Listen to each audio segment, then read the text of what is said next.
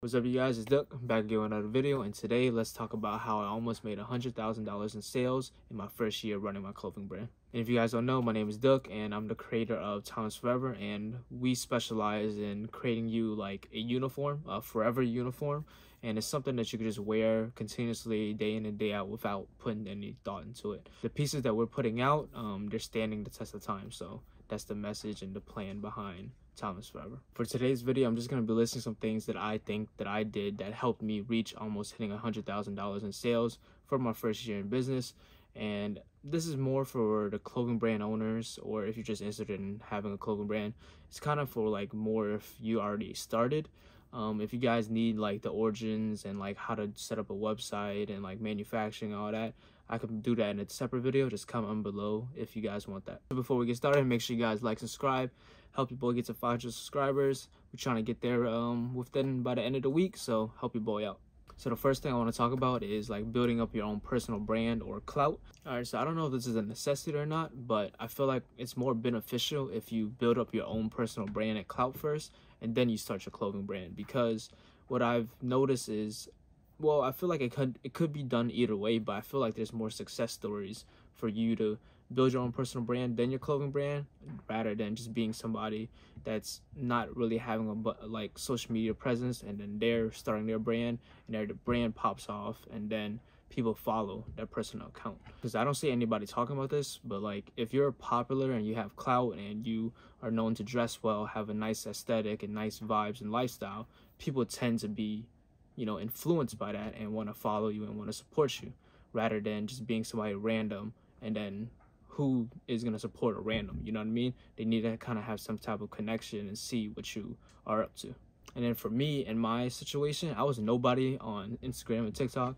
TikTok, I was just posting a bunch of trends. Instagram, I would post like every um, important um, event or something like that. But then I started posting more on TikTok and gaining a following um, I started posting on Instagram more fit pics and I started gaining more following and this helped my brand gain more followers as well and more supporters because people fucked with me and you know they liked my fits and shit like that. So then they supported the brand.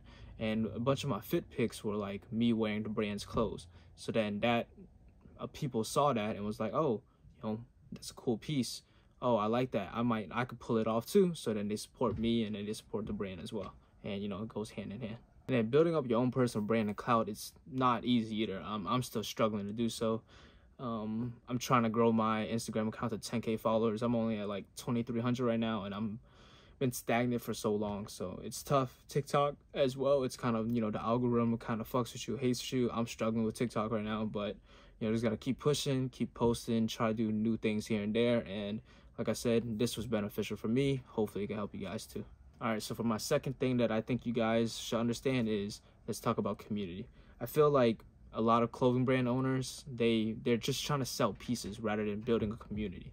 Um, I learned this from um, like Aimé Leon Dore, Kith. They both have like a faithful community that just continues to support them no matter what.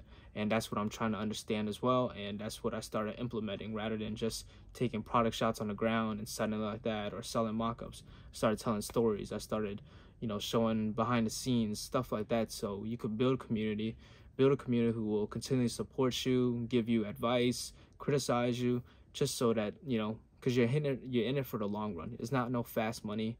You know, hopefully that's not what you're doing it for, but you know, you're trying to build for the long run and you're trying to build a community that's going to be supporting you throughout the way. You know, once you have that community, make sure, you know, since they support you, you support them. They scratch your back, you scratch their back make sure you give them you know you give them uh, discount codes free products at times stickers. Just take care of your people that take care of you you know what i mean?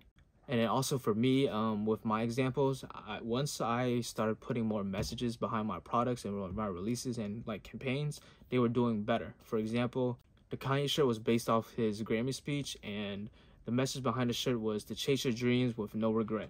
I guess we'll never know what our lives would be like if we didn't take that leap of faith. That was the message behind it.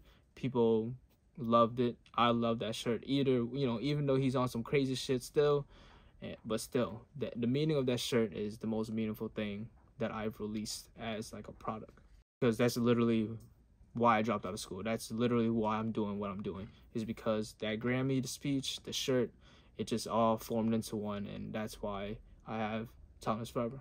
Whenever you show vulnerability and a message that people relate to, it's easier to support and people just gather behind you and, you know, buy your products and help you build your brand up. All right, lastly, I want to talk about marketing. And when it comes to marketing your brand, I feel like the most beneficial thing for you guys is that the brand needs a face. For example, when you think of like Timeless Forever, you either think of me or you think of my girl. And you know, Timeless Forever was my dream and I wanted people to be part of it. And that's going back to talking about community. At the end of the day, people buy from people. People would rather support like a product or something whenever there's like a recognizable face attached to it. And speaking of like a recognizable face, this can be said about influencers. Understand the influence of influencers.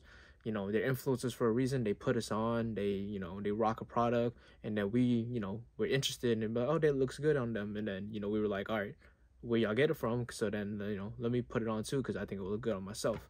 You know, that's the power of influencers and the power of people because I'm not saying the world is like a sheep type of uh mindset, but at the end of the day, when something is popular or something is good, you know, people tend to fuck with it.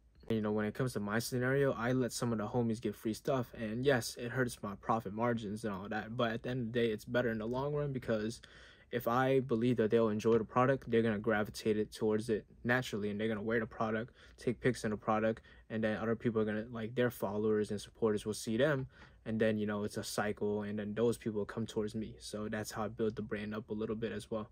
But like i said the bottom dollar at the end of the day when you're growing in the beginning feel like profits don't matter as much. It's more about getting your name out there you know building a foundation for yourself. Giveaways will help with marketing as well. Make sure you guys make it interactive. Let me give you all the, uh, the game. Make it interactive by like you know having them like share repost comment a bunch of times. Whoever comments the most, you know, let them win. You know, pick a bunch of winners. Well, I tend to give like two to three winners as well. So each comment is um, an entry, and then you know get the other ones by random. But the one person that comments the most, make sure they win because you know they put all in that effort and time. You know, reward them but you know this drives the engagement up and then that helps with the algorithm with more people seeing the giveaway and you know more people see the giveaway you know the better for your brand all right that's all from you guys. Comment below any other questions you have. I'll either um answer them in the comments with y'all or i'll make another video part two part three whatever you guys need. But i appreciate you guys for all the support.